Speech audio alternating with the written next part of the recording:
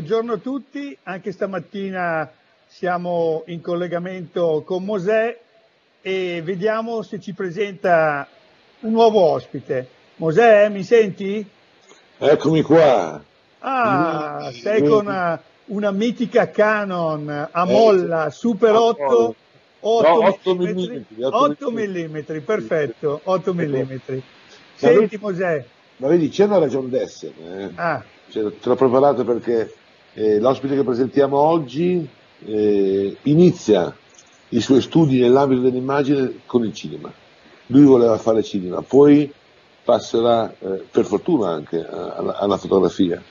è un fotografo di Mariano Comense, spero di averlo detto bene, eh, eh, lavora in tre ambiti distinti che sono il mobile, l'abbigliamento e il ritratto. Per me è un grande ritrattista, tanto è vero che con un po' di violenza una volta mi sono fatto regalare un suo ritratto che campeggia nella mia mansarda. E lui, tra l'altro, è una personalità riconosciuta anche in Francia, ha vinto un festival in un paese che, del quale non ricordo il nome. Lui si chiama Davide Cerati e sarebbe bello avere un applauso anche, che non c'è in tre, ma è un grande personaggio della fotografia. Eccolo qui. Guarda. Lo chiamiamo? Vediamo se ci risponde. Ciao Davide! Ciao. Ma vedi che sembra Ciao. un po' Steve Jobs del terzo millennio, con questa occhiale. Eh? Beh, ricordo a tutti che è già stato anche nostro ospite a Treviglio, ha fatto una bellissima serata con noi, con un workshop molto interessante che ringraziamo ancora oggi perché è stata una bellissima serata e quindi cedo a te la parola per cominciare a fargli qualche domanda. Ma la domanda, la prima è scontata l'abbiamo fatta un po' a tutti, no? quella, adesso siamo un po' relegati in casa, c'è chi parla di arresti domiciliari, c'è chi parla di quarantena e quant'altro. Se, le, se dovessero aprire le gabbie oggi, dice, si può uscire, qual è la, la prima cosa che andresti a fotografare? Qual è la prima fotografia che faresti? Eh, bah, probabilmente la prima fotografia che qualche cliente mi commissiona, cioè detto proprio molto sinceramente la prima cosa che spero di fare è di tornare in bottega, eh, perché la situazione è complicata da tutti i punti di vista e mi manca soprattutto la bottega. Ecco. Eh, io sai, sono figlio di, sono Brianzolo, figlio di Brianzoli, ho un po' questa roba nel sangue, no? de, de, de, della bottega, ecco, del, del, del, laboratorio, del posto dove andare a lavorare, chi lo sa cosa fotograferò. E in questo momento la priorità è ricominciare a far, a far andare la macchina. Ecco. No, adesso mi rubo un po' di tempo, no? Mi ricordo che una volta ti veni a trovare, tu ancora non c'eri in studio, cioè sei arrivato un 5 minuti dopo, eh, ti vieni a trovare nel suo studio e c'era un signore che mi chiese eh, chi stessi cercando, no? Allora dico, guarda, cerco Davide Cerati, lui disse, eh, dice, sente che vanno, oggi domenica vanno ancora le seghe, no? Sente? E dico, sì, sì, sento, sento, dice, da qui sono scappati anche i cinesi. Come è importante la bottega e il lavoro per le... Eh, per, sì, ma sai, qui davvero, adesso un po' meno, ma insomma, eh, cioè negli ultimi anni un po' meno, ma davvero mia, i miei ricordi di infanzia sono questi, cioè alla domenica tu sentivi le pialle, le seghe nelle, botteghe, in ogni cortile c'era un falegname. Ecco, ti chiedo una cosa, tu hai iniziato col cinema, studiando cinema, no? quindi immagino le sceneggiature. È la preistoria. Eh, vabbè, la preistoria, comunque il cinema poi è quello, l'immagine del movimento è poi quella lì, voglio dire, le basi sono quelle, no? Certo. Cosa, cosa eh, sei riuscito a trasferire dal cinema alle tue fotografie? Ti è stato utile? Cosa c'è nelle tue fotografie che, che arrivi eh, dal cinema?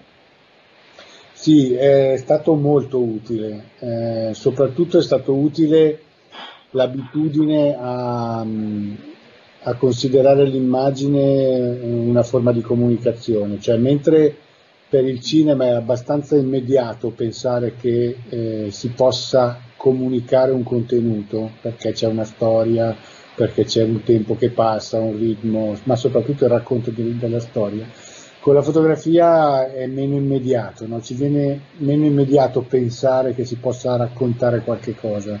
Siamo più abituati a pensare che la fotografia possa raccontare, possa eh, essere un mezzo di, eh, di comunicazione dell'estetica, no? che è sicuramente vero, ma in realtà dentro la fotografia, dentro a quel fotogramma lì, dentro a quel raccon- piccolo eh, rettangolo, ci passano le storie, no? che nel caso della fotografia sono molto più sintetiche, molto più, eh, pi- più, più raccolte in un'unica immagine. Ecco, il cinema mi è servito molto a, ehm, a vedere questo aspetto della fotografia, cioè l'opportunità certo. di comunicare.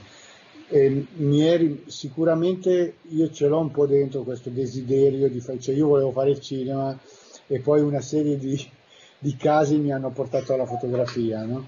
eh, sono molto contento di questo, ma mi è rimasto dentro un po' questo desiderio no? di, di, di, cinema, per cui ho sempre bisogno mh, di considerare quel fotogramma, del, del, quella fotografia, il frame di, un, di una sequenza più grande, no? cioè come se fosse un unico frame isolato da un contesto più grande. Ti faccio una domanda adesso, a questo punto importante. Eh, io quando si parla con i miei colleghi amatori, perché poi tu sai sono un amatore, io dico sempre, quando dovete fare delle fotografie e avete identificato il soggetto, no? eh, la storia, eh, scrivetevela, scrivetevi, non so, io scendo a New York e scrivetevi ho visto un taxi giallo, ho visto un tombino che fuma, c'è, un, c'è una persona di colore che suona lungo le strade, cioè, scrivete le vostre sensazioni e suggestioni.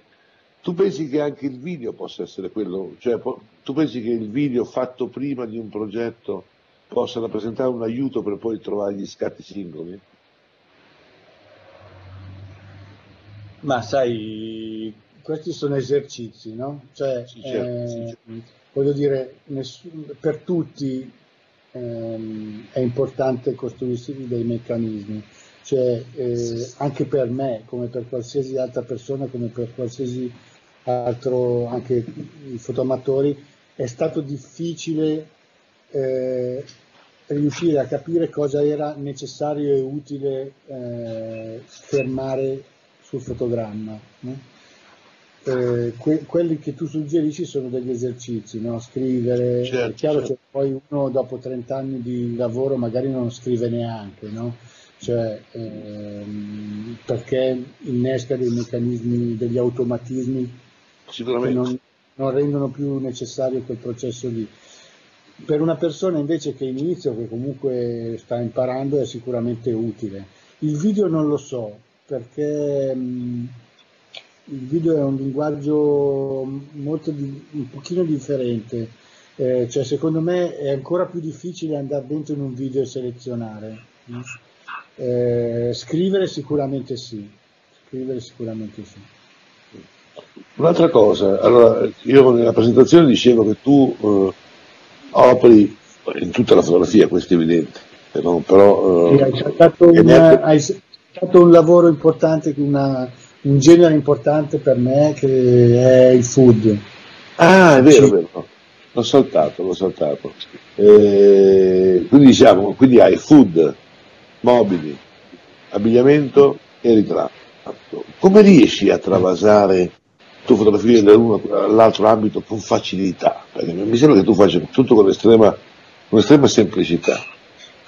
Come fai a farlo? Allora, Mm, la facilità viene solo dall'esperienza e dagli anni di lavoro, soltanto da quello. In realtà il processo è che per tanti anni ho fotografato quasi soltanto mobili. Mm. Eh, cioè io partivo la mattina, andavo nelle aziende dei mobili che allora avevano delle grandi sale di posa dove ricostruivano ambienti e passavo la giornata lì. E a un certo punto mi sono trovato quasi, mi sono scoperto quasi a parlare con le sedie e con i tavoli e allora ho capito che bisognava che, che andassi a, a, cercare le persone, quindi mi è venuto naturale il desiderio di mh, cominciare a interagire anche con le persone. E, e, poi in una fase successiva ancora è venuto fuori il food, insomma sono stati dei, dei processi abbastanza casuali, però sicuramente mossi da, da bisogni eh, interiori, no? per cui poi dopo su, sul tecnic- sulle questioni tecniche va, sai, fotografare un prosciutto o un divano non è tanto diverso, no? sono solo diverse le dimensioni. Quindi... Sì, ma un prosciutto e una bella ragazza vestita, sì, c'è qualche differenza c'è. Ma, sì, certo, ma la differenza vera eh, non è nella forma o nell'estetica, ma è nella interazione, cioè mentre il prosciutto resta là fermo e tu ci giri intorno, con una persona devi per forza di cose interagire. Eh, e questa cosa, questo aspetto porta dentro un, un meccanismo importante in più che è quello ehm, eh, del fatto che non sei più soltanto tu a fotografare, ma è anche lei, è anche lui. Quindi ci vuole un ingaggio, è necessario un ingaggio con questo soggetto, dovete eh, ingaggiare qualcosa. Imparare a, a, a provocare, a, a, a, più che suggerire, a muovere delle, delle, dei meccanismi. No? Quindi eh, a volte ti trovi davanti dei soggetti che hai bisogno di mm, nei quali hai bisogno di provocare una reazione, altri che sono così professionisti, professionali che mh, mm, eh, la generano da soli. Ecco. Ti chiedo una cosa, e chiedo anche uno spazio a, a Franco Cesni. Io ti ho avuto, eh, ebbi un grande sogno, no? quello di portare tanti fotografi nel paese di mio padre, se ti ricordi. Tu sei venuto con estrema generosità e ti, e ti ringrazio anche per questo. Io ti affidai come incarico di fotografare il comune, no?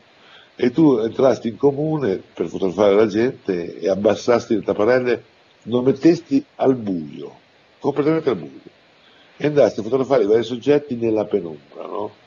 il risultato fu che mia moglie mi disse, mi chiese, ma dov'è sta bella gente in comune nel tuo paese?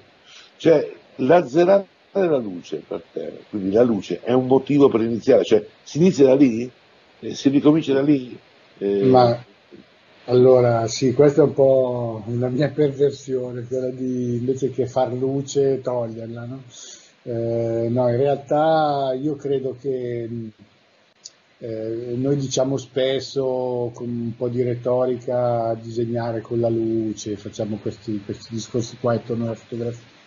In realtà spesso è più interessante l'ombra e la penombra rispetto alla luce, la, cioè a volte è quasi più interessante la mancanza di luce che non la luce stessa, no? ma io credo che questo sia abbastanza naturale, cioè se tu ci pensi eh, ci sono mille situazioni nella nostra vita ehm, che ci emozionano proprio perché la luce è poca, no? proprio perché sì, la luce sì. è misurata, cioè voglio dire due innamorati si, si mettono al tavolo a lume di candela, no?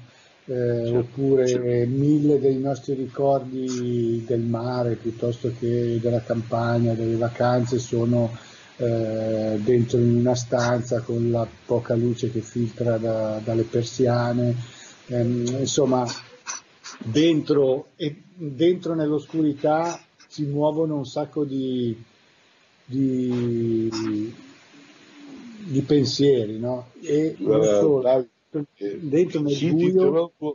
Sì, se ti interrompo ti dico una cosa, c'è un cantante che dice di notte ci, ci sono posti che di giorno non ci sono. Cioè, è, è, è, vero, no?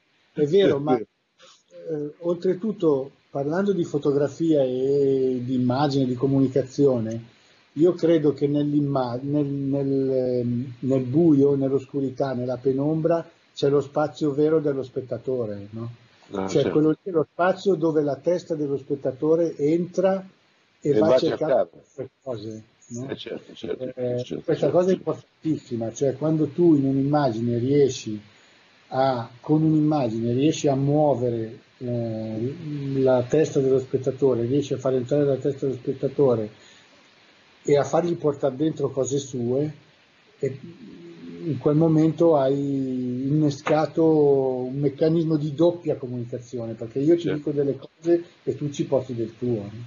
No, io pensavo... Davide, No, scusa sì. Mosè, solo una cosa, proprio per questa cosa che hai detto, l'ottica che tu preferisci per la tua fotografia qual è? Beh, ovviamente quella più luminosa possibile, nel senso che al di là della focale, eh, se ci fossero delle ottiche diaframma zero, sarebbe, io cioè, ci faccio un mutuo per qualsiasi cifra sono disposto a spenderla, nel senso lav- cer- lavorando spesso con poca luce ho bisogno di avere ottiche luminose. Dal punto di vista eh, invece della lunghezza focale ehm, dipende, non ho un'ottica preferita, diciamo che dipende dalle situazioni, ovviamente. In genere con il, con il ritratto tendo a usare ottiche eh, intorno ai 70, 80, 100 di focale, eh, se fotografo il food eh, uso ottiche macro e spesso Chiaro. mi piace usare ottiche macro ma corte, in modo da potermi avvicinare eh, al soggetto come se fosse un'architettura. No? E, ehm, insomma, sulla macchina, molto concretamente, sulla macchina ho il 90% delle volte un 2470. Torno un attimo okay. a, a, al, al discorso della luce e del buio. Io, per me, fare spegnere tutto è anche un modo per iniziare, no? lo consiglio anche spegnete casa vostra e cominciate a accendere le luci piano piano e eh, poi si vede e, però mi, mi, piace anche il fatto che tu dica che sia un modo per vedere ma oltretutto hai detto un modo per far sì che lo spettatore veda che si cerchi sul soggetto allora siccome tu sei uno da cinema non mi viene in mente un film che è paradigmatico per questo che è effetto notte di Truffaut, no? cioè che, che, ci ha messo un fito davanti, quello penso che sia l'apoteosi del tuo concetto di romana. Eh? Sì, sì, no, sicuramente. Quello è un grande film, giusto? Allora adesso io Franco direi, di, siccome siamo eh, alla fine un po' di questo, di questo tempo, direi di chiedere insieme, ci sono questi fotografatori che sono chiusi in casa, hanno una macchina fotografica, alle volte non si sa cosa fotografare, tu che consigli daresti loro?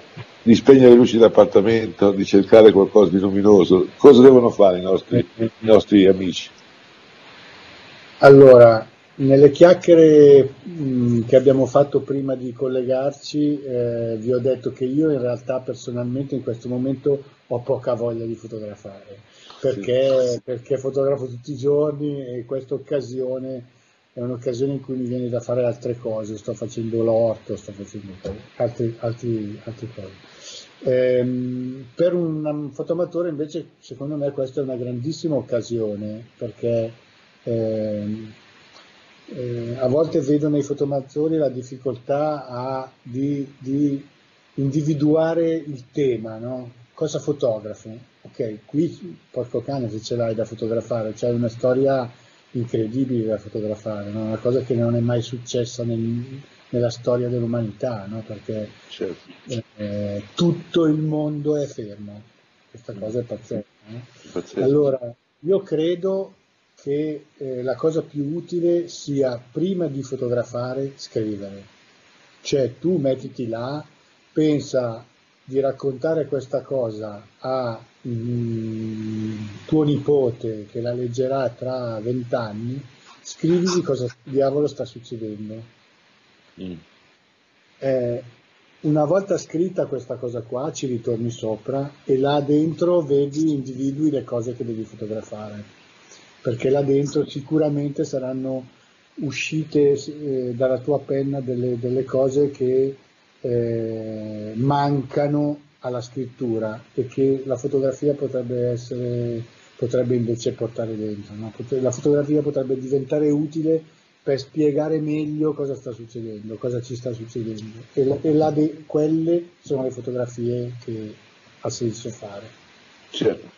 Voglio dirti solo una cosa, Franco, permettimi sì, vai. ai nostri ascoltatori. È anche un modo per riscoprire la casa. In questi giorni io sto scrivendo molto, quando anche di notte mi sveglio e scrivo due cose. E tu sappi che questo è un evento epocale, no?